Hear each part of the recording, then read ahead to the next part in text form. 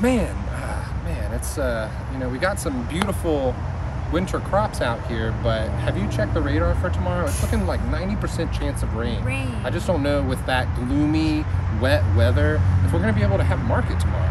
Yeah, it'll be pretty pretty chilly and wet out there Yeah, it's definitely forecasted for flannel and hot cocoa. for sure.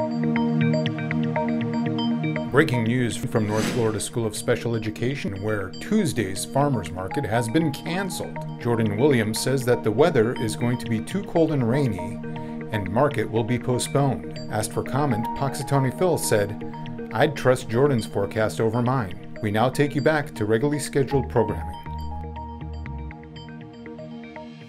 What's up, everybody? It's another beautiful gray Monday out here on the farm, uh, but we're making it work. We're getting ready for spring, and I just wanted to let y'all know that um, we are looking at a pretty rainy day tomorrow on Tuesday. So, first things first, uh, I'll have you know that market is canceled just as we prepare for that ugly weather. Uh, we just wanted to go ahead and get the word out that we will not be having market tomorrow. Uh, so, come and see us next Tuesday, uh, and we'll have our market set up down at the barn all the fresh produce that you can get, uh, and we will see you then. Uh, but today I figured while I had the opportunity, I wanted to take you guys on a quick little farm tour, so to speak, and show you three things that are growing on in the farm.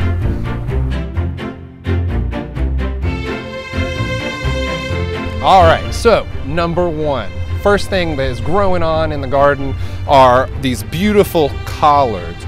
Now, we've been experiencing some colder weather here in Florida, but that is not going to deter these collards. Um, they're a great winter and fall crop to grow here in Florida.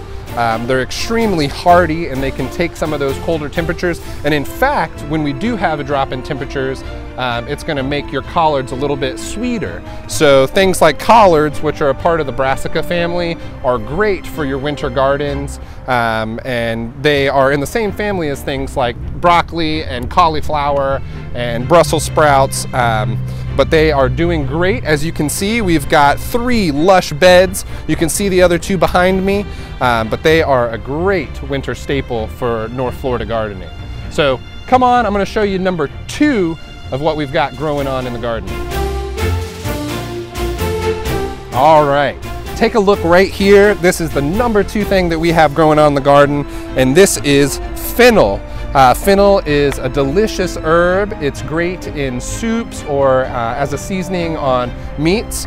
Um, you can roast the bulbs in the oven and have a delicious fennel snack, um, but you can also use the frilly part on the top, like I said, to mix into uh, soups or into casseroles. Uh, another really easy crop to grow here in Northeast Florida during the winter months. Um, and it's also going to push us out into spring. It's another great herb um, that'll last a little bit, um, that can withstand some of that earlier season heat. Uh, but fennel is another one. Take a look at these bulbs. They are just getting uh, beautiful here, getting very large. Uh, so you can expect to see those at market with us next Tuesday.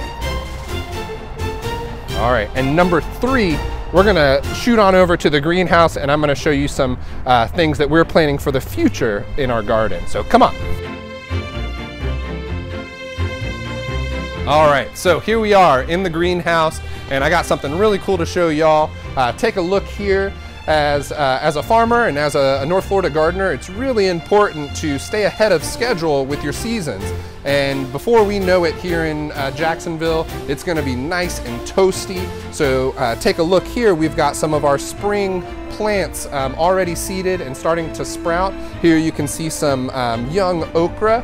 And it's also a great time of year to propagate because everything is about to spring into life.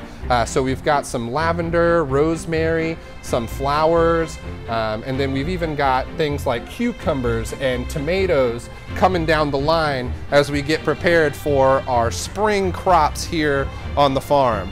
So that's what we've got growing on here at Berry Good Farms. I hope y'all enjoyed and I hope you're getting jazzed for spring to do your own gardening at home. Um, we'll always have starter plants available at market, so make sure you come and shop those so you can fill your gardens at home with those seasonal plants.